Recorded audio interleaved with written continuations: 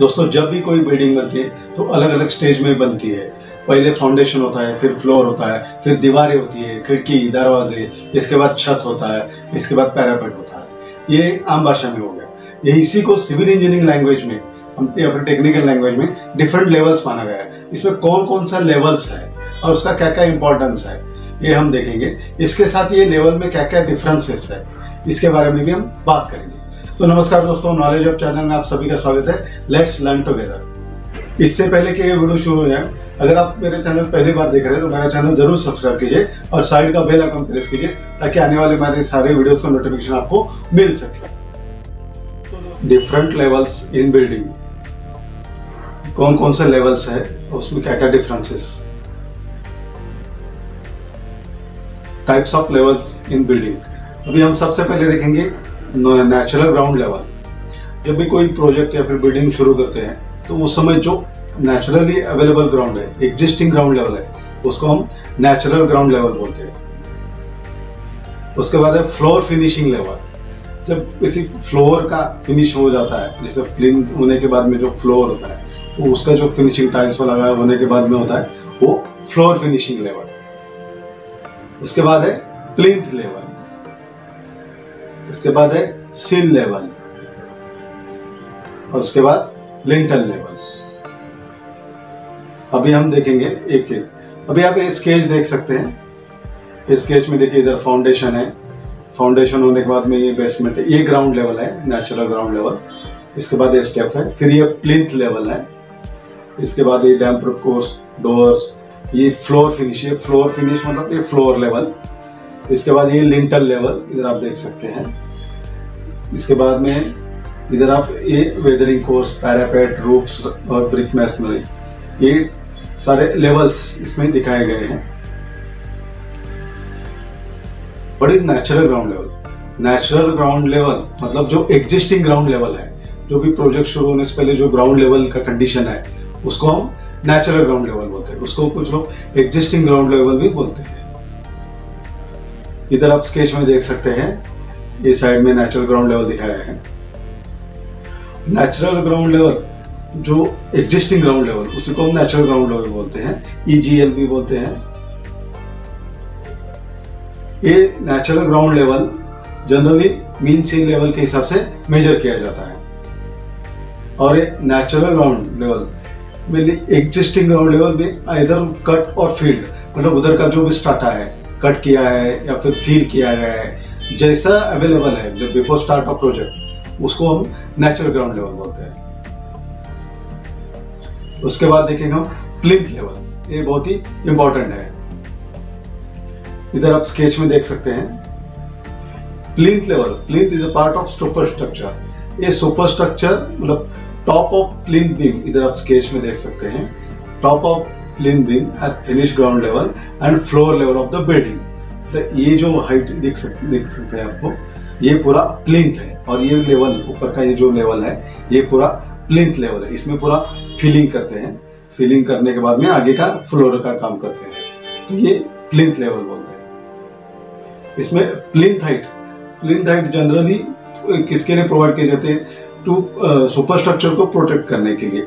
Dampness से या फिर वो सराउंडिंग डायरेक्ट कॉन्टैक्ट ग्राउंड से या फिर कुछ वाटर इशू है तो उससे प्रोटेक्ट करने के लिए किया जाता है। और ये प्लेन का हाइट प्लेन के जो या फिर डेप्थ बोलते हैं, वो भी स्टैंडर्ड है। इसमें आप देख सकते हैं plane top of plane directly provided for damp proof course इसमें पूरा, इसके साथ ही प्लेन का टॉप है, उसको हम डैम प्रूफ कोर्स करके उसको एडिशनल प्रोडक्शन देते हैं। और बायोलॉज के हिसाब से प्लिन का जो है मिनिमम 45 सेंटीमीटर या फिर 450 फिफ्टी mm रखते हैं। जो आप देख देख सकते हो मिनिमम 450 अभी कहीं कहीं जगह प्लिन में प्रोडक्शन में ब्रिक वर्क का इस्तेमाल करते हैं। कहीं कहीं जगह स्टोन्स या फिर रबर मैसनरी भी यूज़ करते हैं। इसके बाद हम देखेंगे फ्लोर फिनिशिंग लेवल इधर आप स्केच में देख सकते हैं। Floor finishing level floor finishing level मतलब the ground level inside the building the building के अंदर का जो ग्राउंड लेवल है या फिर ग्राउंड फ्लोर का जो लेवल है, उसको हम फ्लोर फिनिश लेवल बोलते हैं। ये लेवल जनरली 450 और अबव फ्रॉम ग्राउंड लेवल मतलब 450 एम से ज़्यादा ग्राउंड लेवल से ऊपर रहता है। ये मेनली इसका हाइट बढ़ाने का मेन रीजन ये रहता है कि टू रिस्ट्रिक्ट वाटर मतलब पानी इसके घर के अंदर ना आए, इसके लिए ये लेवल रेस करते हैं। जहाँ रेनफॉल हेवी होता है, या फिर कहीं कहीं जगह पानी की समस्या ज़्यादा ही रहती है तो वहाँ ये डेप्थ बढ़ा भी सकते हैं, जैसे एक मीटर तक भी रहती है। अभी हम देखेंगे सील लेवल आप स्केच में देख सकते हैं। ये सील में सॉरी पूरा सील सील का हाइट देख सकते हैं इधर। ये सील लेवल सील लेवल मतलब विंडो हम लोग जो फिट करते हैं, उसका विंडो का बॉटम लेवल उसको हम सील लेवल बोलते हैं। Level between buildings window base and floor level above ground level ये जो डेप्थ देख सकते हैं, ये सील सील डेप्थ या फिर सील का हाइट बोल सकते हैं। Concrete bed of water is placed at window base इस सी लेवल पे विंडो बैठाने से पहले एक कोपिंग या फिर कंक्रीट बेड प्रोवाइड किया जाता है। या फिर कई कई जगह नेचुरल स्टोन भी इस्तेमाल करते हैं। सी लेवल हाइट हर रूम के हिसाब से अलग अलग रूम के हिसाब से वेरी होता है। जनरली फिर भी पॉइंट नाइन मीटर या फिर नौ सौ एम से वन पॉइंट टू तक रहता है मतलब बारह सौ एम तक।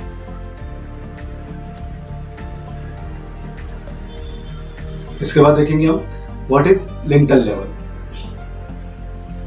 इधर आप स्केच में देख सकते हैं, ये ब्रिक वर्क है, ये डोर ओपनिंग है, या विंडो ओपनिंग है, इसके ऊपर ये जो कंक्रीट का लिंटल प्रोवाइड किया गया है, ये इसको हम लिंटल लेवल बोलते हैं। ये और ये पूरा, ये साइज़ आप देख सकते हैं इधर, ये लिंटल इधर दिखाए हैं।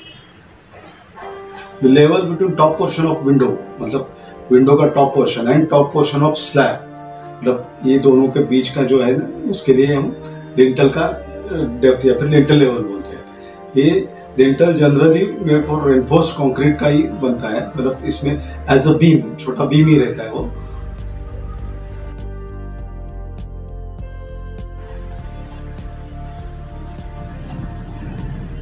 एक्चुअली लिंटल प्रोवाइड करने का मेन पर्पज क्या है कि जो डोर फ्रेम या फिर डोर्स या विंडोज़ ये ऊपर के कंस्ट्रक्शन या फिर जो वॉल है, इसका लोड नहीं ले सकते।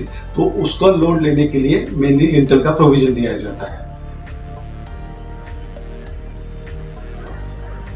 इसके बाद हम देखेंगे difference between plinth level sill level and lintel level plinth level plinth level मतलब super is a part of superstructure between top of tie beam and finished ground level मतलब ग्राउंड लेवल और टाई बीम इसके बीच वाला हम जो area पूरा plane structure बोलते हैं। सी लेवल सी लेवल एक विंडो और डोर का टॉप लेवल जैसे डोर ओपनिंग है, फिर विंडो ओपनिंग है उसका बॉटम लेवल जहाँ हम बैठाते हैं उसको, इसको सी लेवल बोलते हैं। और लिंटल लेवल लिंटल लेवल मतलब डोर ओपनिंग और विंडो ओपनिंग है। उसके ऊपर में जो कंक्रीट का लेयर डालते हैं कंक्रीट का बीम डालते हैं, छोटा बीम उसको हम लिंटल बोलते हैं। अभी प्लिंथ लेवल प्लिंथ लेवल जो फ्लोर के बिलो जैसे फिनिश फ्लोर जो है, उसके नीचे रहता है।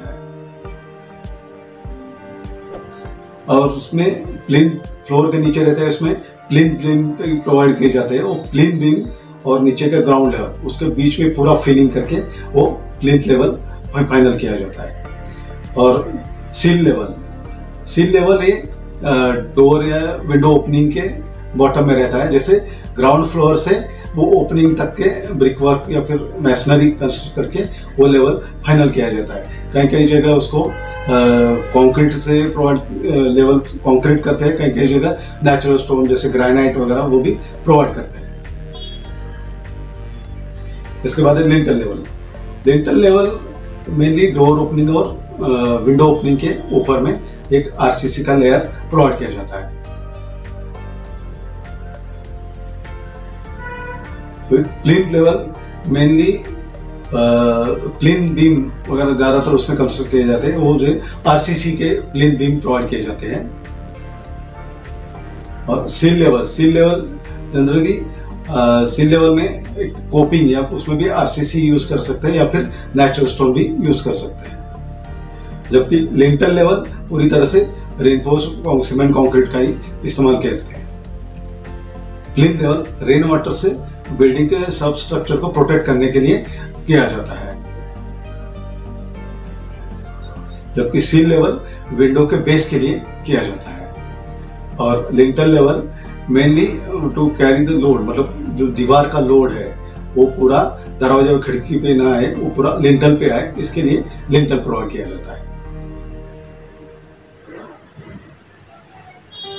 प्लेन है जनरली 450 टू 600 कई कई जगह 300 भी रहता है but minimum 450 to 600 M ground level से होना चाहिए। सील लेवल सील लेवल ये अलग अलग रूम के हिसाब से अलग रहता है जैसे मिनिमम 900 तो होना चाहिए 900 हंड्रेड एम एम सो कई कई जगह वो एज पर रिक्वायरमेंट 600 भी रखते हैं बट uh, 900 से 1100 एम तक सील लेवल रहता है।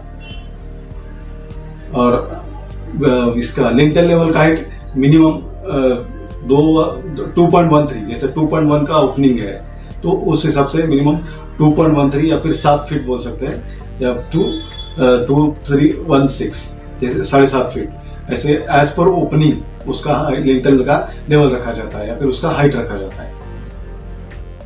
तो दोस्तों, ये रहा अपना आज का वीडियो आज का वीडियो आपको कैसा लगा आप ज़रूर कमेंट कीजिए, और अगर पसंद आए तो लाइक कीजिए और शेयर कीजिए। धन्यवाद।